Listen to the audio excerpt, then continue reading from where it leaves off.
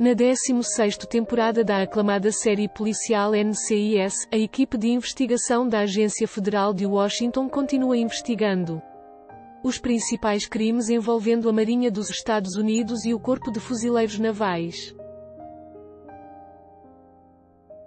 Agora, com o agente especial supervisor, Leroy Jethro Gibis, Mark Armon, em nova posição, a equipe do NCIS investiga até a pista mais insignificante em Busca de soluções para casos antigos e novos da trama, que está de volta ao AXN, a partir do dia 26 de março, às 22 horas.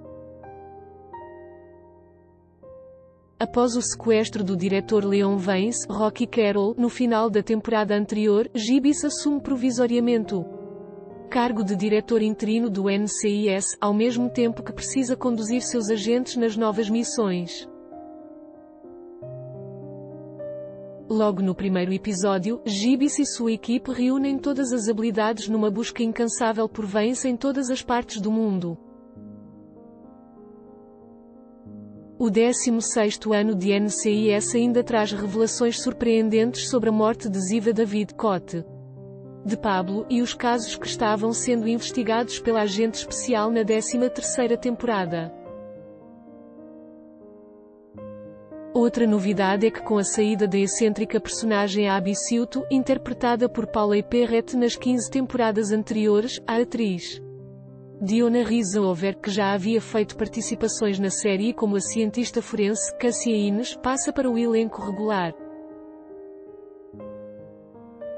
A tensão aumenta com a chegada de novos casos, entre eles, o de um criminoso que busca vingança e ameaça acabar com os Estados Unidos, o de vizinhos peculiares de um tenente da Marinha que são os principais suspeitos de um assassinato e o de Washington sendo tomada por uma onda de ataques explosivos. Caberá somente à equipe do NCIS desvendar todos os crimes e impedir que mais mortes ocorram na cidade. Na nova temporada apenas dois dos cinco membros originais, Mark Armon e David McCallum, permanecem no elenco. Juntam-se a eles, Sean Murray, Emily Wickersham, Brian Ditzen, Vilmer e Maria Belo.